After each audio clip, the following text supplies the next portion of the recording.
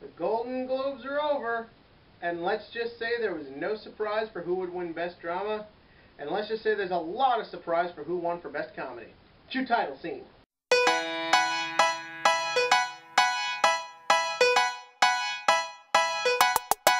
Ever alert, ever alert, for the first time ever, at least since I've been doing this, we have a major development in the range of making money with movies.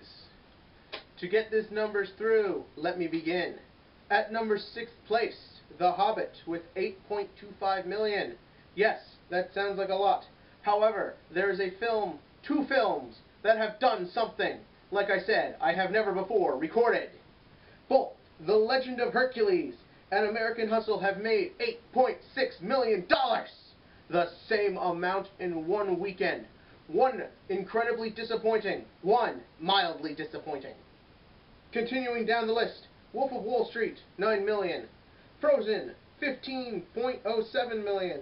And coming in at number one, Lone Survivor, 38.5 million. Check these numbers out here. What could have caused such a thing? Hercules blows.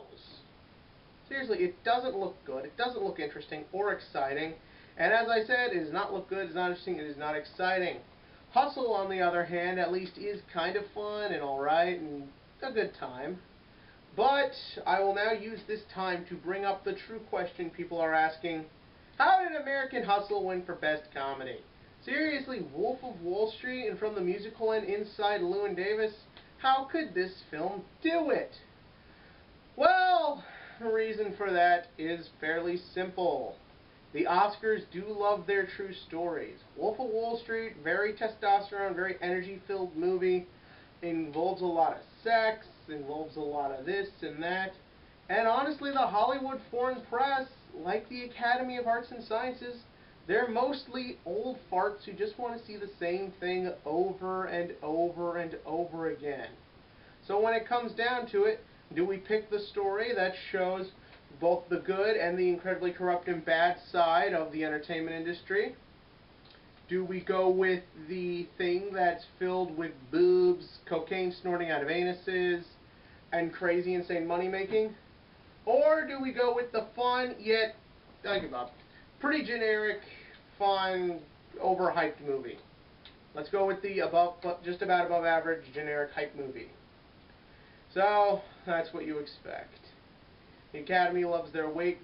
The Hollywood foreign press. Why am I saying Academy? But that's not important. As for Lone Survivor, how did this movie make number one? Well, don't forget, it actually opened in 2013. So even though I'm not going to review it till this week, it is still technically a 2013 movie. So because of this, well, it's gotten momentum, power. People are seeing this movie. They are loving it. It's a powerful action movie. It a lot of people say it glorifies military and all this and that. I'm hearing other things as well. That it's just a well constructed, amazing, true adventure film. Heart pounding, pulse pounding, gripping, emotional. And you know what? I can't wait to see it. And apparently, a lot of people couldn't either because they made a ton of money. Guess what, Mark Wahlberg? You've improved yourself. Your January movie last year flopped miserably. Your January movie this year is doing great with its misery. And what do you think?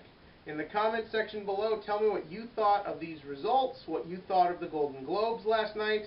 Try and figure out why I can't say Hollywood Foreign Press right. And as always, click here to subscribe, because hopefully I will get facts right in the future.